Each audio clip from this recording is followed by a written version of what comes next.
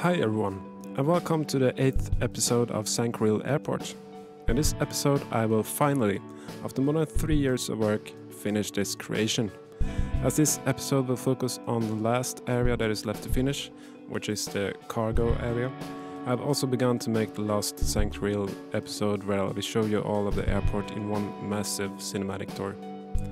One year ago, I thought, hey, there's only one area left to do, I will finish this cargo area in a couple of months.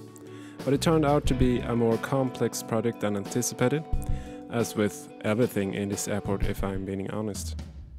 My first project in the air cargo area was to recreate these fuel tank stores from London Heathrow Airport. You have to find facilities like this in the outskirts of the airport, usually close to the air cargo area. My original plan was to make a hydrogen based facility. I find it very interesting to learn what a sustainable airport would look like and if there would be any major differences in design and layout.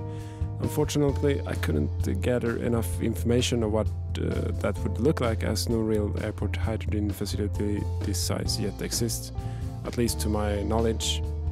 So these uh, traditional fuel tanks will have to do for now. Making the storage appear as functional felt important to make this area feel alive and interesting.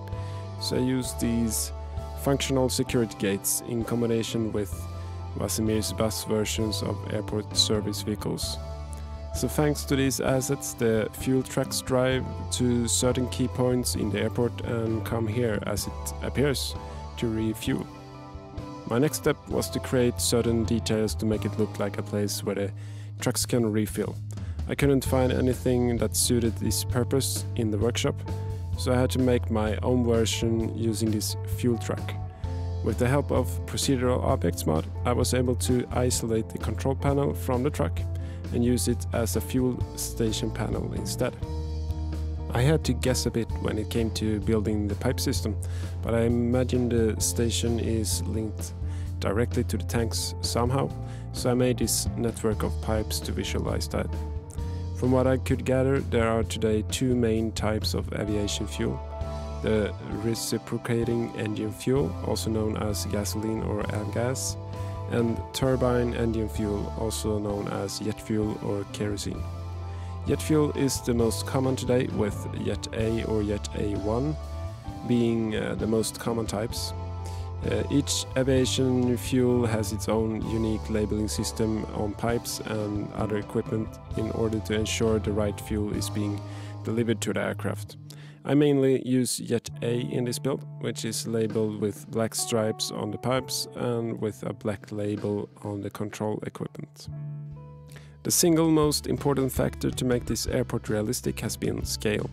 If the buildings, runways, taxiways, roads, and more aren't properly scaled, it doesn't matter how many details I throw down into my creations, it will still feel a bit unrealistic.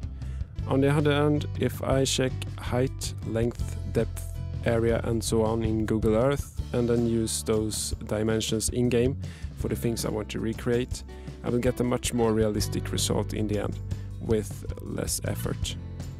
I will show you a few examples of this. The first is the making of the air cargo aprons. The process of making these very detailed areas of concrete is exactly the same as when I made the passenger aprons back in episode 11. So, step 1 use the measuring tool in Google Earth to get measures and dimensions from real life cargo aprons. Step 2 recreate this in game using a ruler prop basic procedural objects with custom textures, empty functional cargo plane stands, and Vasimir's extensive selections of different stop bars and lines and so on. Even if I take my inspiration from different airports in the world, I will still get sizes, layouts, and details that make sense using this method. Another example is the creation of the air cargo warehouses. I had trouble finding a variety of warehouses in the workshop that had the right style, and I found none with the right size. So I created new ones by combining uh, the few warehouses I had with the help of Moveit and Procedural mod. As always, I scouted Google Earth first to have something to go on, and was surprised yeah, by just how large these buildings actually are. Just like with the aprons, I used the dimensions from the real world in-game with the help of a ruler prop. The last example is the creation of the hangar areas. Having the correct size of hangars is important as you often want a variety of airplane models to fit inside. The two hangar areas I made are actually almost exact replicas of two areas from Charles de Gaulle Airport. Procedural objects is of course an extra essential mod in these cases as it enables me to resize and reshape almost any building I want to, giving me much more options to create almost anything. So, I confess, there were times I almost didn't think I would complete this airport and be able to make this episode, but um, here we are, and what a journey it has been. A special thank you to all of you that has followed me and supported me during these years, and a special, special thank you to Captain James for helping me during all this time. Finally, mate, finally.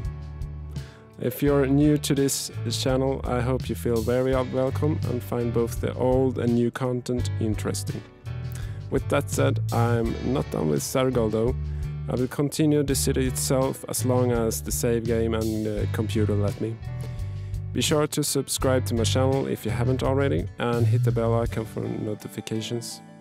The next episode will be around in just a few weeks and I promise you, you really don't want to miss that. Until then, stay safe, take care, and bye bye.